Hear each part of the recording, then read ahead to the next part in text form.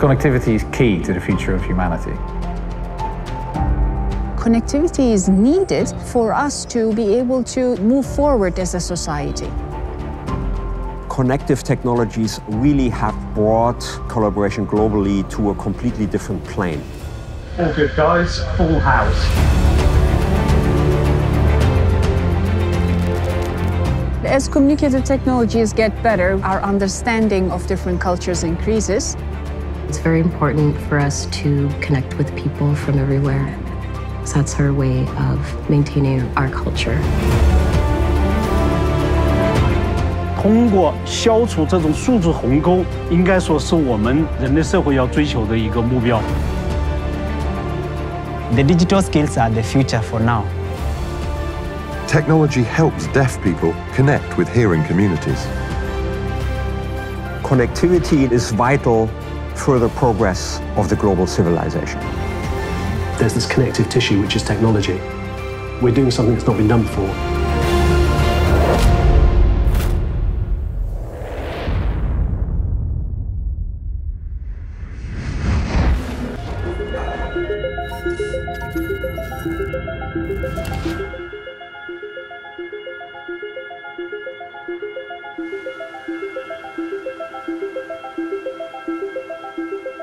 A new road into the north, made not of tarmac, but fibre cable, is putting one of the most remote communities in the world on the global map. The rollout of high speed internet is bringing new opportunities for cultural exchange for the Inuit communities in northern Canada. Tattooing is a process. It's a mental, physical, spiritual process. It's counseling, it's healing, and it's magic. Ippiksaut is a tattoo artist who incorporates Inuit designs in her tattoos. She is helping to connect Inuit culture with the rest of the world. What I love online is when Inuit are representing themselves for other Inuits. That's what I really love about connecting online and showing my stuff. Tattooing with traditional methods is to reawaken our ancestral uh, physical memories. So when we do things culturally, it engages more with our ancestors, and it's like we're spending time with them.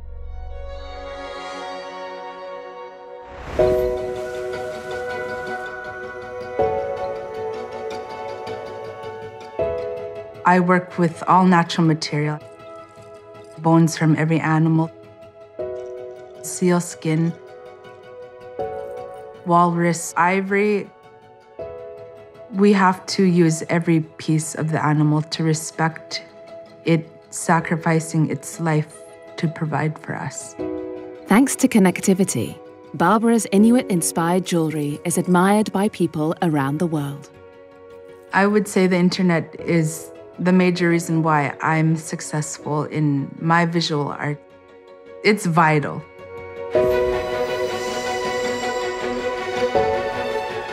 Connective technologies work both ways. They are also enabling a famously isolated community to absorb other cultures from around the rest of the globe. The winters here are definitely isolated and remote. They get dark. People are using for educational purposes and especially entertainment. It just makes it easier. The nights go quicker when you're watching like streaming services and the like. Canada is in the process of improving connectivity to its remote northern regions. The country aims to deliver high speed internet to all citizens by 2030. For Inuit culture, this connectivity brings not only the chance to heal past wounds, but hope of renewal and revival. The thing about the connection and the technology that we're really seeing as a benefit to our culture and traditions is that it's keeping them alive for a newer generation and it's spreading them out to a bigger audience people from all over the world can see our culture and learn about our traditions. We forget who we are because of our colonialistic history of our identity continuously being stripped down. The more we do this movement, the more we're able to regain our identity.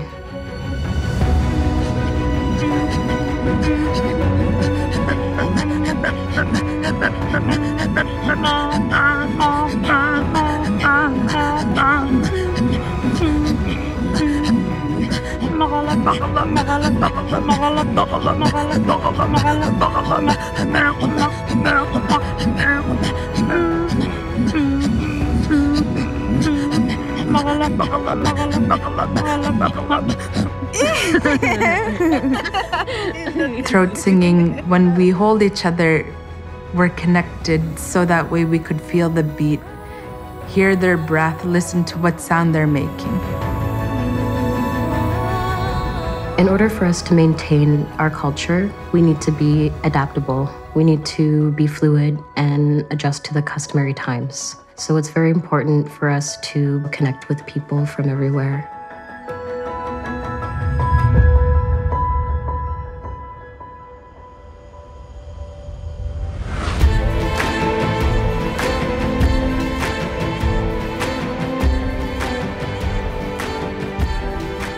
Across the world, connective technologies are providing transformative economic opportunities for impoverished communities.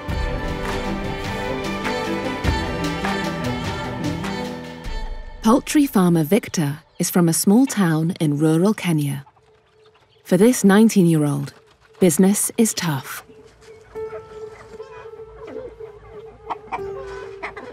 I usually feed my chickens with weeds because I can't get money to buy food. Victor's poultry business is the main source of income for his family. When some of his chickens recently died from disease, it hit hard. We were relying on those chickens for my young brothers and sister for school fees. The only hope they had were from my chickens. For many young people trying to make a living in rural Kenya, meeting basic needs like food, health, and education can be challenging. The most difficult thing is just job opportunities for our youth. You will find that you cannot do anything without skills. So, for most of the youths, it's a challenge. But Victor's prospects are about to change. He is applying recently acquired digital skills to lift himself and his family out of poverty. I look for platforms which you can use to look for customers for your business. Victor is using his phone not only to find new markets, but to learn how to better protect his chickens from disease. I'm becoming more knowledgeable about poultry farming. My business will be enlarging. Digital technology is offering real hope for Victor's business and for his family too. The digital skills are the future for now. This is the technology helping transform not only Victor's prospects, but those of an entire generation of rural youth. Open the Excel application. DigiTruck is a mobile training unit that travels to rural communities around Africa, offering digital education. This solar powered classroom on wheels trains and upskills residents in areas where there are existing internet centres close by. And locals can benefit most. Most of these people, they have zero knowledge on these digital skills because most of them have never come across a computer. Along with 11 others, Victor will spend four weeks learning how to use online resources to help market his business. Others will use their newfound skills to access government job programs. By bringing more opportunities to rural areas, DigiTruck is helping to bridge the rural urban economic divide. Connectivity technologies are definitely bridging the digital divide because if you can bring a gadget to a population that normally doesn't have access to the internet, they can use their voice to access information, to get trained, to get educated. In Kenya, these technologies may help address one of the country's most pressing problems the migration of young people to the cities. If we are not able to mitigate the challenges of urbanization, then we will end up with more informal settlements in urban centers. We will end up with uh, high levels of crime in urban centers. We will end up with low level of agricultural production because young people are moving to towns and cities. So there will be food insecurity. Use that skill to propel you to the next level. It's about creating more opportunities in the rural community so that young people do not feel compelled to move to towns and cities. People like Christine. When the water in watching. Christine runs a clothing shop in her small town in eastern Kenya. Since graduating from DigiTruck last year, she has been marketing her products online and seen her profits double. I've been able to advertise my clothes and my business is booming. Christine believes with her digital training, economic opportunities lie close to home, which is why she's passing on these skills to local women trying to establish businesses. You have taken the pictures, then you can under fill in, then you can post. I'm becoming a future teacher in the making. In Kenya, improvements in connectivity may even herald the beginnings of a startup revolution we are likely to see revolution of uh, startups. And it's already happening. Many more people are now moving to rural communities to set up their startups because they believe that that is where you can make bigger change.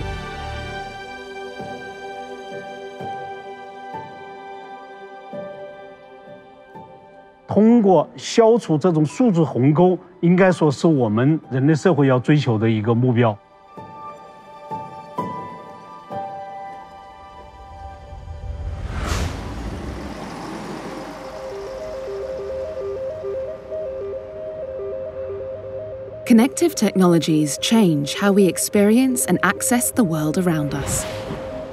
And for those with disabilities, they offer opportunities for empowerment on a truly life changing scale.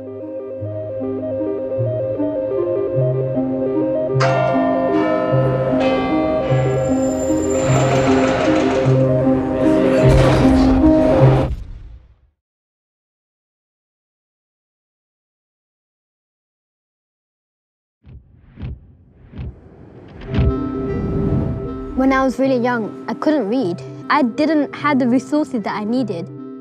I didn't get the support.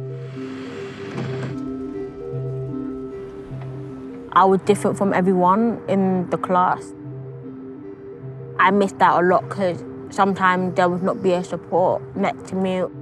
For many deaf people, like Kelsey and Samira, learning to read was a huge challenge.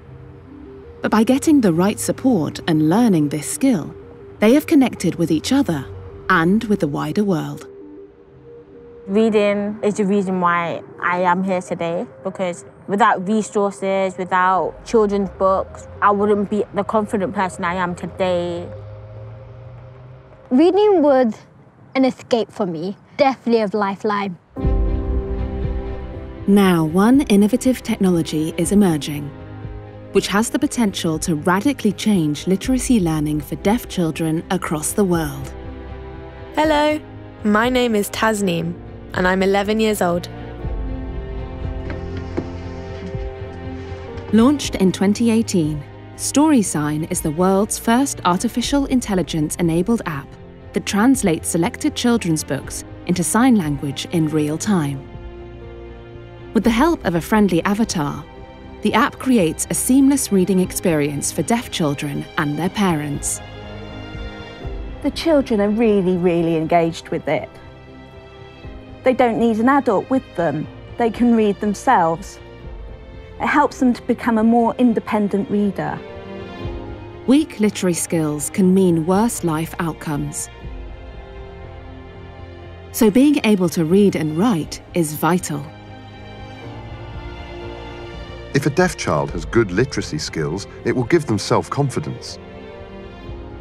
It means they will feel equal to their hearing peers. It will give them positive mental health going forward in life. The boy had decided Okay, he's going to try to catch a star. Reading has definitely enlarged Tasneem's imagination and it's given her the power to dream as well, ask questions, write her own stories. Really? You want to be a history teacher? Wow, it's amazing. I think the best, best job in the world.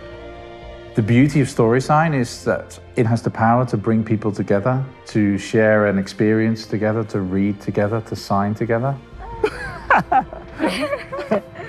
Good idea. Reading is very important as parents, just for that bond between the child and yourself. You know, it's a very special time.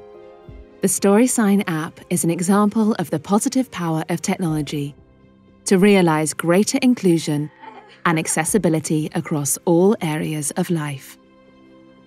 Ultimately, we have a dream to help every deaf child in the world learn to read. Technology could help millions of deaf children to forge successful futures and follow in the footsteps of the likes of Samira and Kelsey. For them, learning to read opened the door to creative careers as actors. What we're going to do is start from the beginning. Connectivity is helping these women to tell new stories in innovative ways. Integration theatre. Yeah. So you speak outside. Yeah. To create imaginative, new artistic worlds and to access new experiences. We have our own community, our own culture and world. John, the Deepak, the Jane. When you read something, we feel connected or we feel that relatability. That's what reading is, is connection. None of that keeping me here.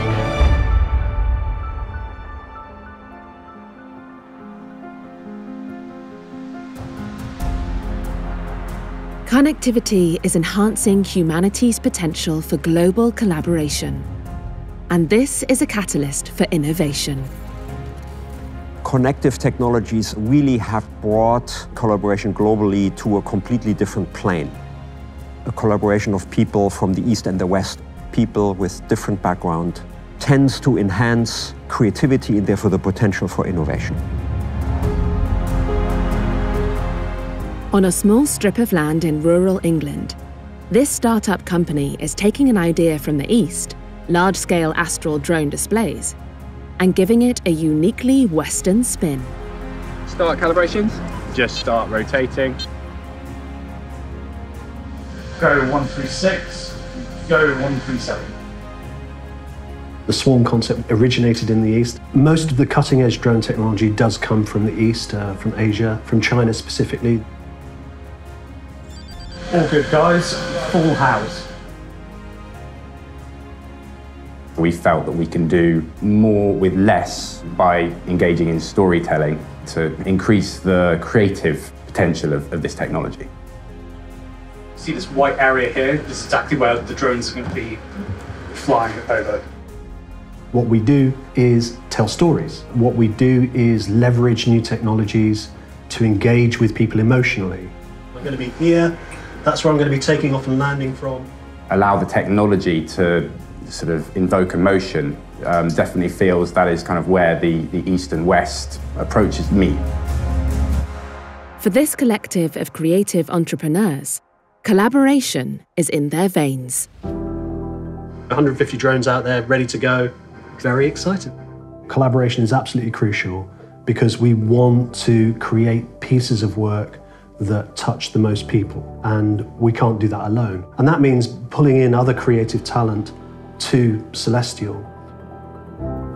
Celestial's array of poets, musicians, dancers, and choreographers come together to design 3D animations brought to life by a swarm of pixel like drones.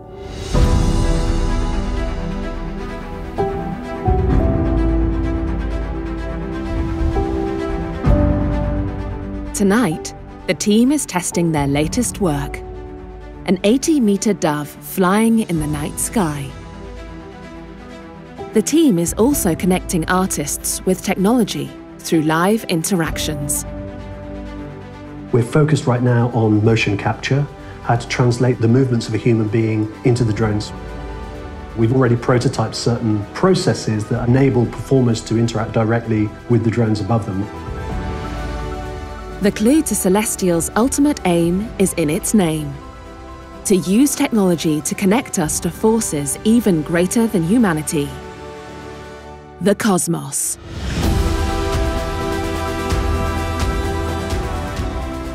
What we want to do is engage with our audiences on a deeply emotional level. What we want to do is persuade people to look up from the phones, to look up at the night sky again, to re engage with the heavens. Something primal happens when you look up at the stars again. A feeling of connection, not just with the stars and the universe, but with one another, sharing in that moment as we all look up again. It kind of really lifts your spirits and creates beacons of hope as well. By having these bright lights in the sky, it does something to us. With technology comes more connection. With more connection comes more empathy. Rather than insular communities, we become one global community. Connectivity enables collaboration and being informed. This is vital further progress of the global civilization. Huawei's technologies are primary agents of this global connectivity and collaboration. As a technology company, we have the responsibility to make sure that we create a world or a future for the next generation. The spirit of collaboration through connectivity is needed more now than ever before. Global collaboration now is no longer a luxury, it's uh, an absolute necessity. 华为公司的愿景 是把数字技术带入到每个人、每个家庭、每个组织，构建万物互联的智能世界。